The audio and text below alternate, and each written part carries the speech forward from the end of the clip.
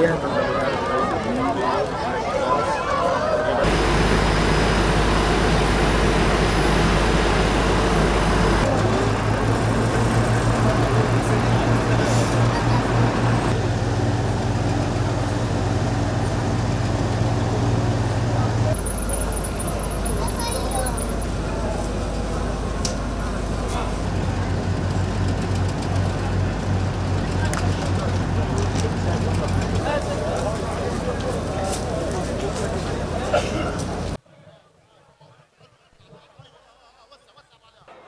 بعد اليوم.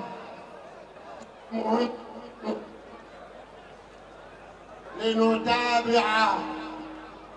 نتابع إعادة بناء المخيم والمدينة.